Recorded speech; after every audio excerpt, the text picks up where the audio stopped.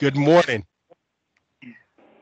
Uh, today, every scripture I take it's from the New King James Version. Amen. And if I have to put a title, I would say God is with you. Yes. Yes, he is. First Thessalonians five twenty three. Thessalonians. Sorry. Now may the God of peace himself sanctify you completely, and may your whole spirit, soul, and body be preserved blameless at the coming of our Lord Jesus Christ. Mm. Verse 24 He who called you is faithful, Yes, he is. who also who also will do it. Mm. Philippians 2 12 to 15. This is a letter Paul wrote to the Philippians. Well, Therefore, my beloved, as you have always obeyed, not as in my presence only, but now much more in my absence, Yes. work out your own salvation with fear and trembling. Mm. For it is God who works in you. Yes, it is. To and to do for his good pleasure. Uh, hallelujah. Do all things without complaining and disputing. hmm Help me, Lord. Help me, Lord. Jesus. Jesus. That you may become blameless and harmless, children of God, without fault, in the midst of a crooked and perverse generation, Generation. Yes. among whom you shine as a light in the world.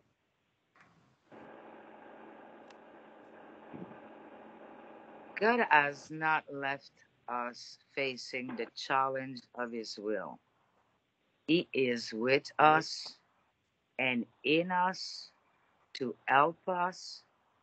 He is, it is, sorry, it is He who creates in us the mm-hmm. desire and power to Yes. Him. Yes. The life of the Spirit. I put Roman 8 1 to 6. Therefore, no, there is therefore now no condemnation to those who are in Christ Jesus, No, there's not. who do not walk according to the flesh, but according to the Spirit. Yes. For the law of the Spirit of life in Christ Jesus has made me free from the law of sin and death. hmm For what the law could not do, in that it, it was weak through the flesh, God did by sending his own Son in the likeness of sinful flesh Yes. on account of sin. He condemned sin in the flesh, Yes, he did. that the righteous requirement of the law might be fulfilled in us who do not walk according to the flesh, but according to the Spirit. Yes. For those who live according to the flesh set their mind on the things of the flesh. But those who live according to the Spirit, the things of the Spirit. Mm. For to be carnally minded is death, but to be spiritually minded is life and peace. Yes, it is. Psalm 36 9. For which you is the fountain of life. In your light we see light. hmm John 8 12. Yes. Then Jesus then Jesus spoke to them again, saying, I am the light of the world. He who follows me shall not walk in the darkness, but have the light of life. hmm Jesus was talking uh, in that when the the woman got in adultery, uh, hmm Jesus forgive, forgive uh, the woman, and he was standing in the part of the temple uh, where the faithful give their offerings, uh, give their offerings, and where the I don't know if it, I got the good word uh, candlestick, the hmm chandelier, hmm burn burn in remembrance of the pillar of fire Yes. that led the people of Israel into the desert. hmm The pillar of fire represent the presence, the protection, and the direction of God. Hmm Like, likewise, in the person of Jesus, God is present, protect, and guide. hmm Matthew uh, 5 14 to 16. We are the light of the world. A city that is set on a hill cannot be hidden, hmm nor nor do they light a lamp and put it under the basket, but but on a lampstand, and it give light to all who are in the house. Yes. Let let your light so shine before man, so that they may see your good works and glorify your Father in heaven. hmm So, are we gonna make mistake again? Yes, certainly. Are we gonna fall short again? Yes, certainly. hmm We go to God when it happened. We ask forgiveness. We repent, and we turn away up. hmm He is in us, with us, helping us. Yes. And Philippians 1 6, being confident of this very thing, that he who has begun a good work in you Oh, yes. it until the day of Jesus Christ. Yes. And God bless Eh, you all. praise God. God bless you. Praise the Lord. Thank you for those words of encouragement. Amen. Nothing can encourage you more than the scripture and the word of God. Amen. Praise the Lord. Come in to share with us the scripture in which is going to be the basis of my message uh, this morning is Sister Hope Columbe. Uh, good morning, church. Good Uh, the morning, read- my sister. Good morning. The reading of the Lord's Word is Galatians chapter 1, 1 to 10. Paul, an apostle, not from men nor through men, but through Jesus Christ and God the Father who raised him from the dead, and all the brethren who are with me, to the churches of Galileans, grace to you and peace from God, the Father and our Lord Jesus Christ, who gave himself for our sins, that he might deliver us this present evil age according to the will of our God and Father, to whom be glory forever and ever. Amen. I, Amen. I marvel that you are turning away so soon from him who called you in the grace of Christ to a different gospel, which is not another, but there are some who trouble you and want to pervert the gospel of Christ. But even if we or an angel from heaven preach any other gospel to you than what we have preached to you, let him be accursed. And as we have said before, so now I say again, if anyone preaches any other gospel to you than what you have received, let him be accursed. For do I now pursue the men or God, or do I seek to please men? For if I still please men, I would not be a bondservant of Christ. Amen. Amen. Amen and amen. Hallelujah. What a scripture uh, that we're going to talk about today. Praise God. Um, we see it in the body of Christ. Uh, the title of my message this morning is Signs That You're Longing for Approval.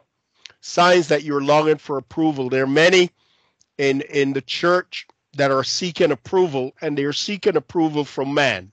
They're seeking approval from the court system. They're seeking approval from the government. And so I, I thought that I wanted to target this topic this morning that we are not to long for approval and control anywhere else other than what God has given to us. And so there there are four five areas that I want to dig into this. And if it's you, say ouch and just hold your word. I'm getting to it. You obsess about what others think. Mm. Number one. Number one. Number two, you're often overly sensitive. Number three, you compromise your values. Number four, you hesitate sharing your faith. And number five, you have a hard time saying no. Mm. That anointed word that is no. All right. Proverbs 29, verse 25 said, The fear of man will prove to be a snare, Mhm. but whoever trusts in the Lord is kept safe. Amen. Now, fear of people can hamper everything that you and I try to do. In extreme forms, it can make you afraid even to leave your very house. And by contrast, the fear of God is respect, reverence, and trust. And it's liberating, it's freedom. Why fear people who can do no eternal harm? Instead, trust God who can turn the harm intended by others into good for those who trust Him. So, the question that I have for you this morning is how do we overcome the disease to please? Mm. How do we overcome the disease to please? Number one, focus on pleasing God instead of pleasing people. Amen. Okay, obviously, in Galatians 1:10, Paul says, "I'm not trying to win the approval of people, but of God." Okay. If pleasing people were my goal, I would not be Christ's servant. So, I'm sorry, if your pastor is not pleasing you, then he would not be a servant of the living God. Because he is not your pastor to please you. He's your pastor to please God. Amen. All right. The Judaizers are identified by the false gospel that they preach. A test of a person's ministry is not how popular they are Come on.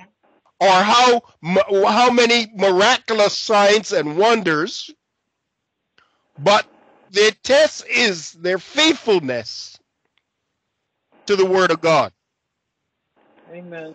Note that John 2, uh, 2 John 1, uh, verse 5 to 11 warns us not to encourage those who bring false doctrine.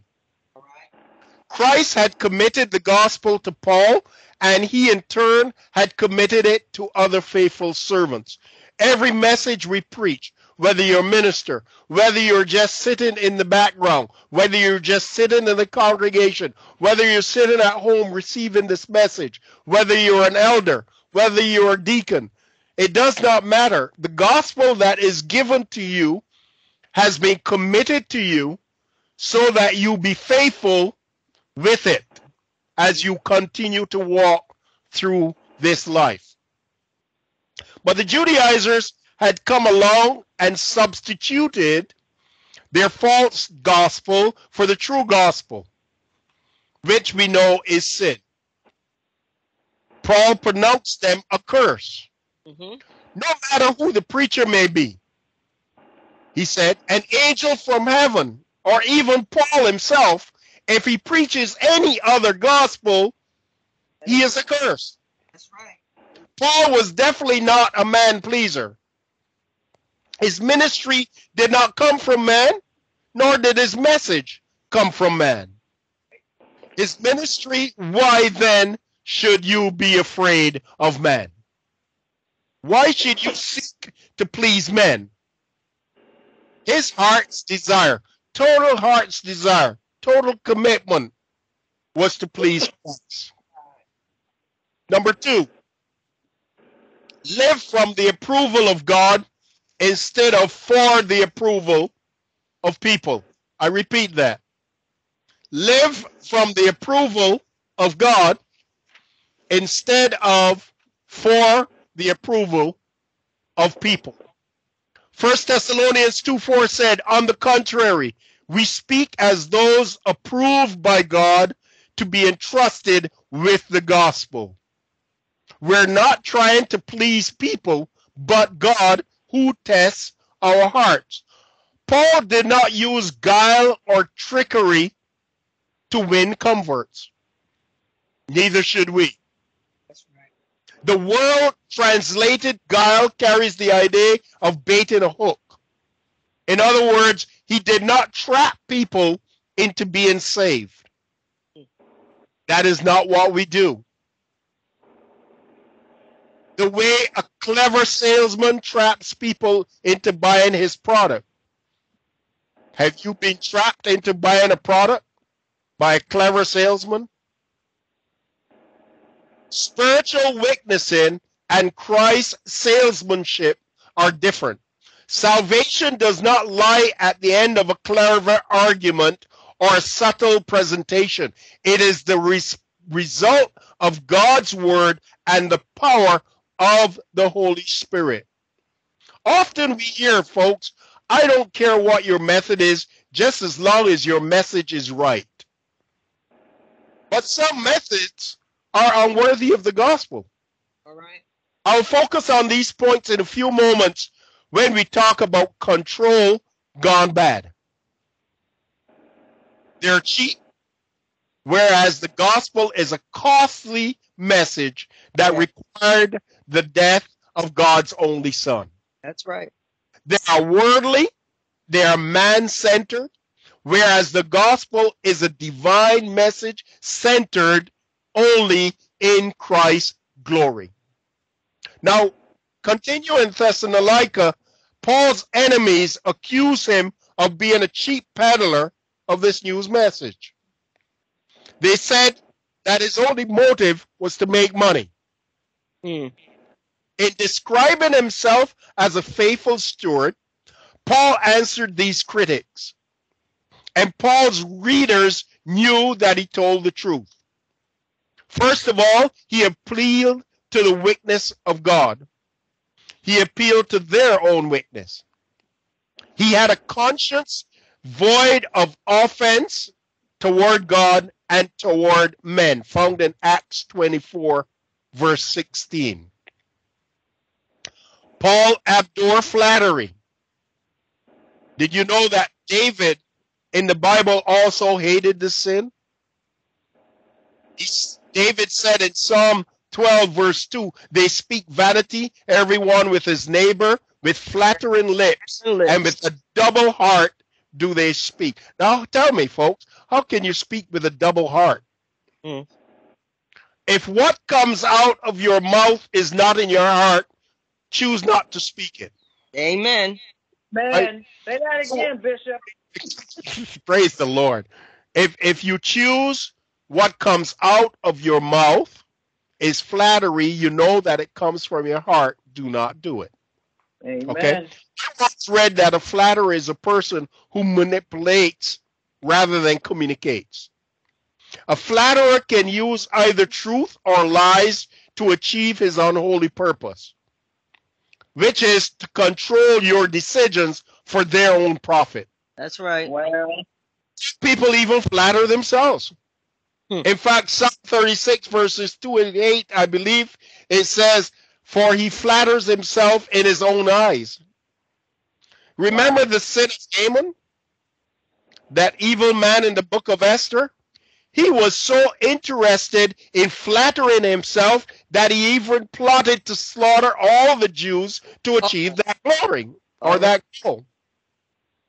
Some people try to flatter God. Mm. I'm not speaking about you this morning. Because Psalm 38, 78, verse 36 said, Nevertheless, they, is being Israel, did flatter him, God, with their mouth, and they lied unto him with their tongues. Mm. Mm. So flattery then, in my un- my my honest opinion and ministry, is another form of lying. Okay, it means saying one thing to God with our lips, while our hearts are far from Him. Far from him. And you can read that in Mark chapter 7, verse 6. One thing with their lips, their hearts are far from Him. That's right. Some believers try to win friends and influence people by appealing to their egos. A true ministry of the gospel deals honestly but lovingly with sin and judgment and leaves the unbeliever with nothing to boast of in himself. So Paul's method here was as pure as his motive. He represented the word of God in the power of the Holy Spirit and he trusted God to do the work. That is where we need to be. We need to be at a place where if you have placed something in God's hand, if you have placed someone in God's hand, let the Holy Spirit do the work in their lives. Amen. Amen. You don't have to inform them, you don't have to flatter them, you don't have to lie to them, you don't have to do anything because other than allowing the Holy Spirit to walk in their lives, you have accomplished nothing. So where does control go bad? Well, let's go all the way back to Genesis. Genesis 16, 1 to 4. Now Sarai, Abram's wife, had borne him no children. But she had an Egyptian maid servant named Hagar. And so she said to Abram, The Lord has kept me from having children. Go sleep with my maid servant. Perhaps I can build a family through her. Abram agreed to what Sarah said. Mm. So after Abram had been living in Canaan 10 years, Sarai, his wife, took her Egyptian maidservant Hagar, gave her to her husband to, his, to be his wife. He slept with Hagar and she conceived. So wait a minute. God told you, Abram, that I will be the one to provide. But good old Sarah, faithful Sarah, says, I'm not going to be able to do this. Hey, go sleep with my, my maidservant Hagar.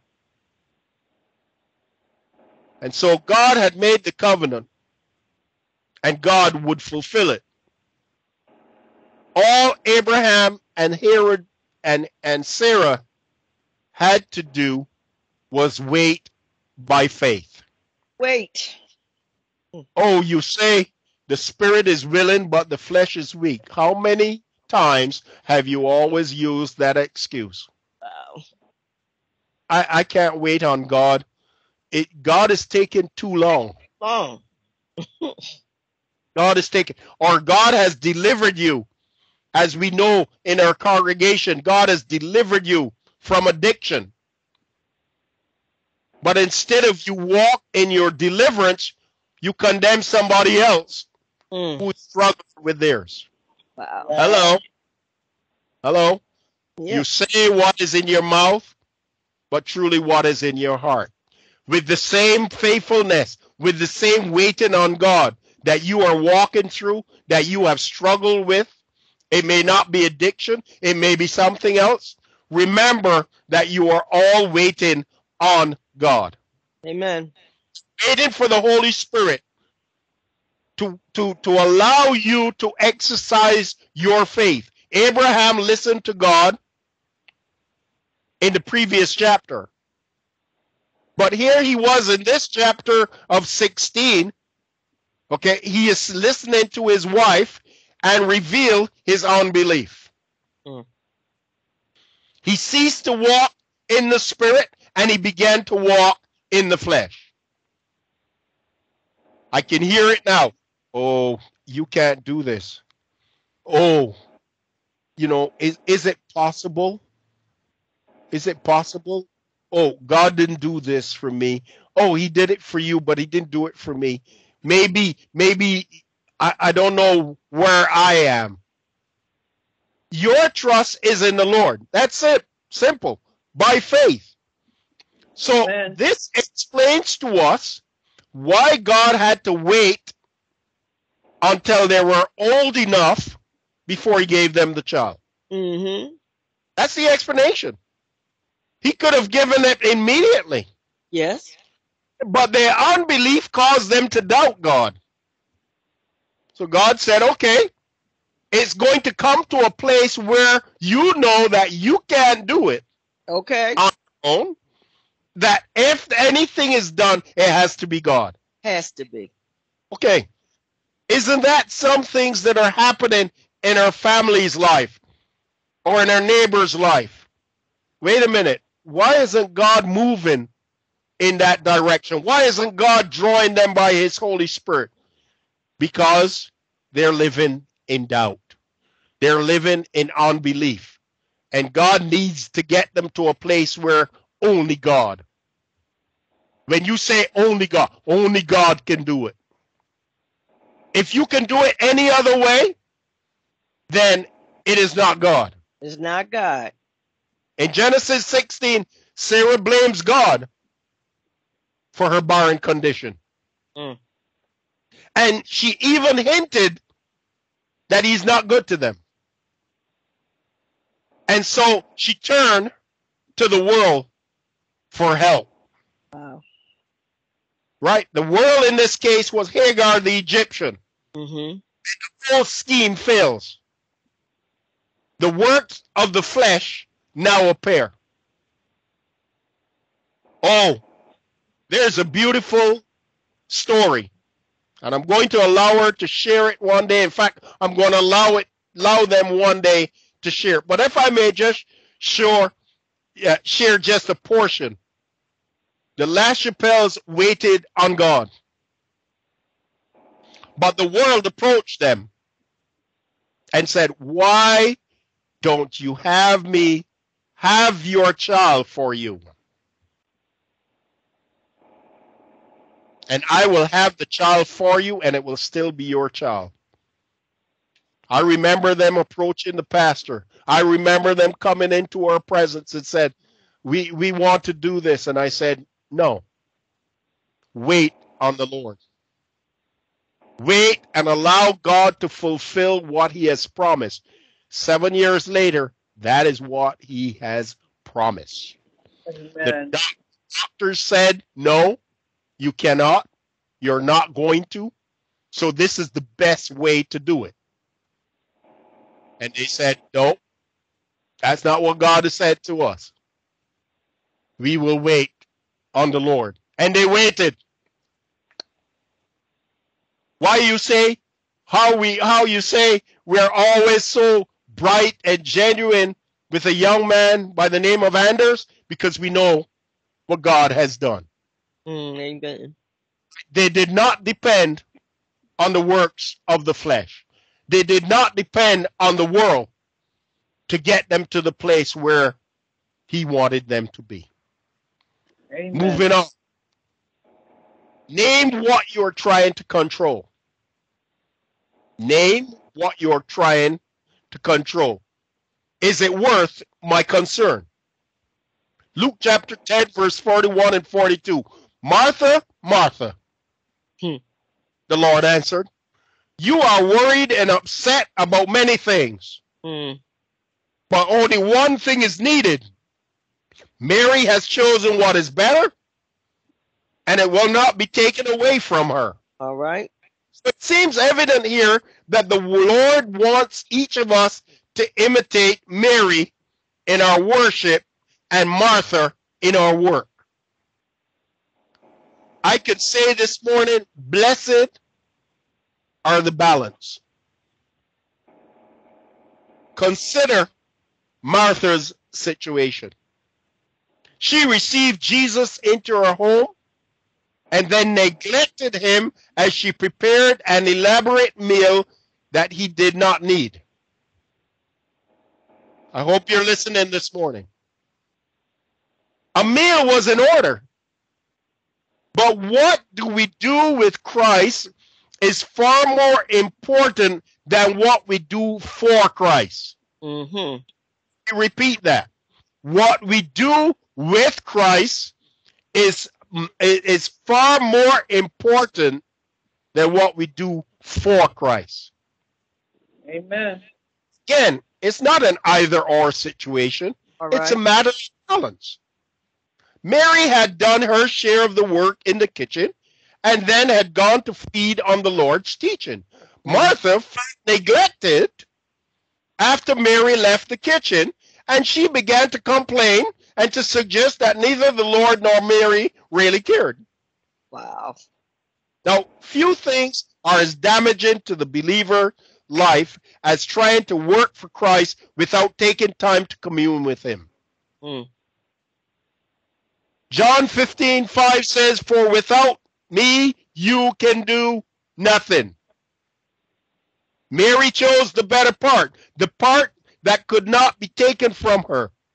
She knew that she could not live by bread alone. Mm-hmm. When we criticize others and pity ourselves because we feel overworked, we had better take time to examine our life. Mm-hmm. Perhaps in all of our busyness, we have been ignoring the Lord. Martha's problem was not that she had too much work to do, but that she allowed her work to distract her and pull her apart, Mm-hmm. trying to serve two masters. Wow. If serving Christ makes us difficult to live with, then something is terribly wrong with our service. The key is to have the right priorities. Jesus Christ first, then others, then ourselves. It is vitally important that we spend time at the feet of Jesus every single day. Let him share his word with you every single day. All right. The most important part of the Christian life is the part, my friends, that only God sees. And unless we meet Christ personally and privately each day, we will soon end up like Martha, busy but not blessed. Hmm. Is it mine to control? Remember, I'm asking the question. Name that. Name what you're trying to control. Is it mine to control? Well, James 4 13, 14 said, Now listen, you who say, Today or tomorrow we will go to this or that city, spend a year there, carry on business, and make money. Why you do not even know what will happen tomorrow? Mm. So pride, criticism, self-confidence go together. Humble people pray to God for help in order to help disobedient Christians, and they try to love them back to fellowship with Christ. Now, the humble know how to say, if the Lord wills, Wills. That's right. as they make their plans day by day, if the Lord wills. But these believers were boasting of their plans and anticipated success. They would go to the big city, set up business, come back wealthy. He warns them that this carnal boasting and self confidence is dangerous. To begin with, we know nothing about tomorrow. Only God knows. Let me get some. Where's my water? Need some water? Thought I had some. Praise God. Thank you. Thank you, darling. All right. Carnal boasting and self confidence is dangerous. If you don't understand that word self confidence, let me break it down for you. Having confidence in your own ability. Hmm. To begin with, we know nothing about tomorrow. Do you know about tomorrow? But you know who holds tomorrow. Amen. We all do. Furthermore, life itself is very uncertain. Fact, Job 7 7, a cloud that quickly comes and quickly goes. That's life. We do not even know when life will end. So, how can we be so confident? We ought to say, if the Lord wills, we shall live. Every believer needs to keep before his or her eyes an awareness of the brevity of life. Psalm 90, verse 12 says, So teach us to number our days, Mm-hmm. that we may apply our hearts unto wisdom. Boasting about any unknown future is a sin. Amen. Yet so many people, so many believers make their plans without praying or seeking the mind of God. They say, well, pas- Pastor, I believe that this would be God's will for my life. So I asked the question, how do you know if it's God's will for my life? Well, they say God wouldn't want me to be. I said, listen to what you just said. God, God wouldn't want me to be. Do you know the mind of God? Do you know the plan of God? Is it possible? I can give you some history in which I've gone through. And if I was walking in the flesh, I'll tell you right now, I would not be sitting before you. That's that's part of my life. So I can only preach what is part of my life. Mm-hmm. Too many people make their plans without praying or seeking the mind of God. They live like the worldly sinner who thinks that he has security for the future, but discovered he has lost everything. You find that in Luke chapter 12. The next question I have for us this morning is it for God alone? Well, let's look at Philippians chapter 4, verse 6 and 7. Do not be anxious about anything, but in everything, by prayer and petition, with thanksgiving, present your requests to God. And the peace of God, which passes, which transcends all understanding, will guard your hearts and your minds in Christ Jesus. So let me break that down. Right praying. Not just praying. Mm-hmm. What? You see, the Bible nowhere says that any kind of prayer will bring peace to our hearts. Nowhere. That's right. What is right praying? It begins with adoration. This is what prayer means. You know, there's many in the world that think prayer means, oh well, if I if I rub the genie, you know, God is going to listen to me because I'm God's child. That's not what prayer is. Read Philippians 4 6. I've just read it. This is love, encouraging or enjoying the presence of the Lord, honoring Him, it's worship. Because when we rush into His presence and begging for peace of mind, that will never get a result. We must bow before Him in worship and let Him search our hearts and our minds. Next comes supplication. Big word. But all that it means is the earnest, sincere desire of the heart. True prayer comes from the heart, friends, not the lips. What a joy it is to present our request to Him. Mm-hmm. Because if not, it's the Holy Spirit that already gave us what we should ask for. Hello? Amen. The Holy Spirit giving you what you should pray for? Yes. Okay, read our Bibles. What a joy it is then to present our request to Him. Finally, there's appreciation or thanksgiving. You know, it takes faith to thank Him for Mhm. uncomfortable circumstances. or for requests not yet granted. Well, Lord, you said that you would do this, and I'm still waiting. Remember, go back to Abram and Sarai. Why did the Lord allow them to wait all of that time? Every time they sneeze in the east, far off east, okay, you know that their cousins fighting each other.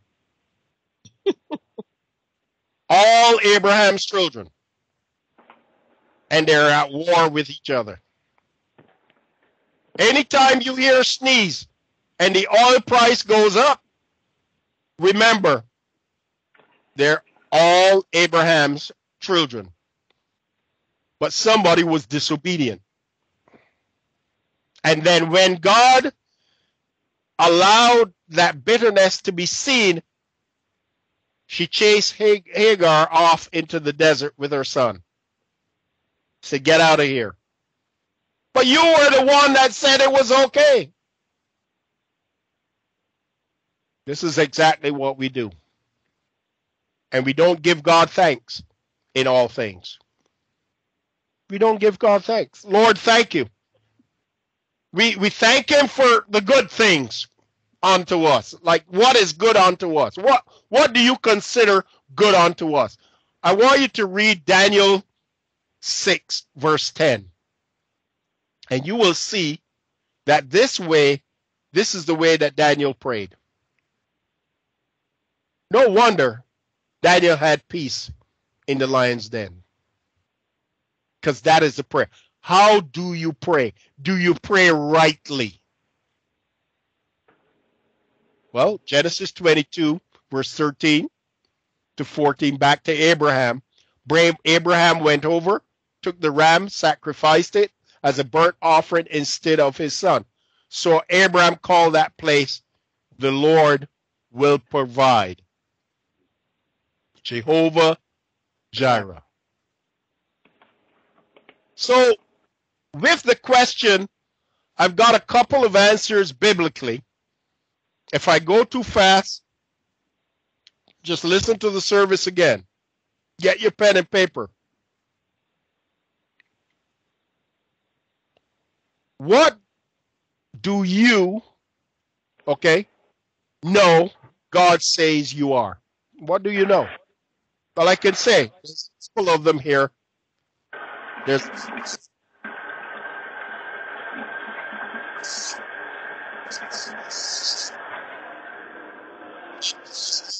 That's just a phone. Don't, don't worry about it. It's a phone that is going off. You are a new creation in Christ. You are forgiven and your sins are washed away. You are more than a conqueror through Christ. You are God's masterpiece. You are the light of this world. You are filled with the same spirit that raised Christ from the dead. You are joint heir with Christ. You are Christ's ambassadors. You are the righteousness of God in Christ Jesus. Last but not least, you are greatly loved by God. So Romans 12 2 defines it. Do not conform any longer to the pattern of this world, but be transformed by the renewing of your mind. Hallelujah. Give him our mind in order for it to be renewed. The world wants to control your mind, folks. Mm. But God wants to transform your mind. Amen. And the word transform is the same as transfigured in Matthew 17, verse 2. It has come into our English language today as the word metamorphosis. It describes a change from within. The world wants to change your mind, so what does it do? It exerts pressure from without. But the Holy Spirit changes your mind by releasing power from within. If the world controls your thinking, you are a conformer. If God controls your thinking, you are a transformer. God transforms our minds and he makes us spiritually minded by using his word. Not our own word, his word. As you spend time meditating on God's word, memorizing it, making it part of your inner man, God will gradually make your mind more spiritual. You can read that in Second Corinthians chapter 3 verse in, verse 18. But you not only give him your mind, folks. How about giving him your will? You see, your mind controls your body, Mm-hmm. but your will controls your mind. Many people think that they can control their will by willpower. You know that? You hear it in the world often. Oh, I can do this. Oh, you, you tell the child that they're they're good. They can go forth and they can do this and they can by their willpower. Well, let me say this morning, no, they're not going to do it by their own willpower. At some point in time, they will fail. It is only when we yield the will to God that His power can take over and give us the willpower and the willpower that we need to be victorious. How can we be victorious? We can be victorious because of what the power of God can take over, what we have allowed Him to take over. We surrender our wills to God through disciplined prayer. As we spend time in prayer, we surrender our will to God and we pray with the Lord, not my will, but thine be done. You must pray about everything and let God have his way in everything. Mm-hmm. Lord, this is the job that I want. I've wanted this job all my life. No. Said, Lord, if it be your will, and this job is for me, you're going to give me the strength Amen. to do this. That's it. So I must have right relationship with God. I must pray about everything, and I must let the Lord have his way in everything. Romans 12:1 said, Therefore I urge you, brothers and sisters, in view, in view of God's mercy, to offer your bodies as a living sacrifice, holy, pleasing to God. This is your true and proper worship. Before we trusted Christ, we used our body for sinful pleasures and purposes. But now that we belong to Him, we want to use our body for His glory. You see, the Christian's body is God's temple because the Spirit of God dwells within. It is our privilege to glorify Christ in our body and magnify Christ in our body. So just as Jesus Christ had to take himself a body in order to accomplish God's will on earth, so we must yield our bodies to Christ that he might continue God's work through our life. So we must heal the members of our body, instruments of righteousness, for the Holy Spirit to use in the doing of God's work. So it is a part that we said we're not just doing God's work, He is doing His work through us. Right? Remember the statement that I made up at the top. It is not doing this for God, is allowing God to use you, okay, to do it for Him, to He gets the glory. That's the final mark. That's the final stage. God gets the glory. The Old Testament sacrifices were dead sacrifice, but the Lord said we are to be living sacrifices. There are two living sacrifices in the Bible, and they help us understand what this really means. First is Isaac. The second is our Lord Jesus Christ. Mm-hmm. Isaac willingly put himself on the altar and would have died in obedience to God's will. But the Lord sent a ram to take his place. Yes. Isaac died just the same. He died to self and willingly yielded himself to the will of God. When he got off that altar, Isaac represented a living sacrifice to the glory of God. And of course, our Lord Jesus Christ, perfect illustration of a living sacrifice because he actually died as a living sacrifice Mm. in obedience to his Father's will. Amen. I thank God this morning he rose again. Yes. And today he's in heaven as a living sacrifice. Hallelujah. Even in his body, the wounds of Calvary. Thank God this morning he's your high priest. He's my high priest. Thank God this morning he's our advocate Mm. and he stands before the throne of God interceding on our behalf.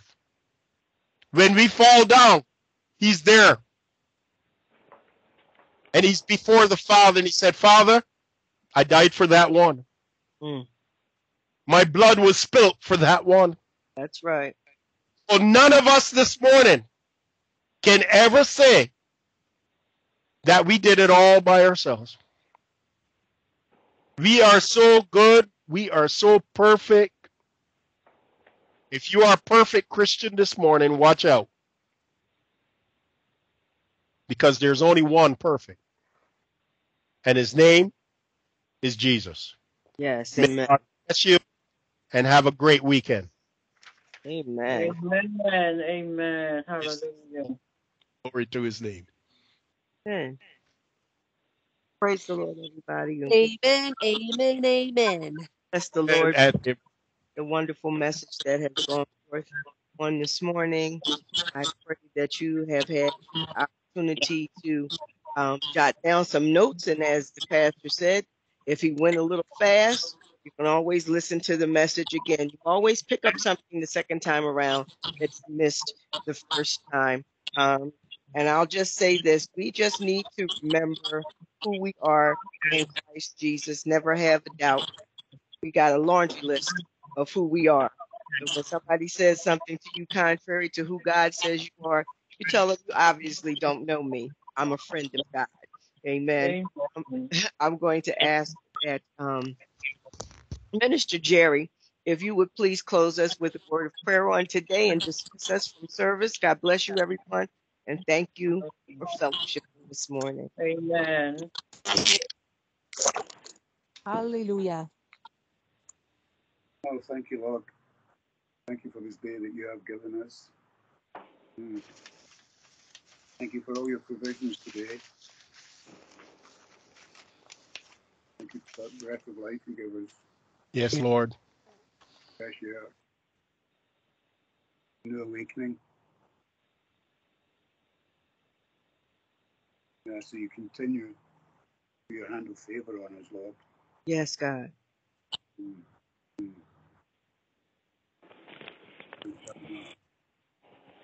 Stated, we go from your favor and not to somebody else's favor. It's always from your favor. So we leave with your favor. Yes. Thank you for our pastors who work hard. That's the blessing of the journeys, Lord. Yes. That's the blessing in the church as a whole. Amen. Amen. Amen. Amen. Amen. May God bless you all. Bless Have a great everyone. week in the Lord. Amen. Amen. Bye. July to my American friends. God bless you. Yeah. bless. Bye. Bye, Goodbye, everyone. Bye bye. Bye.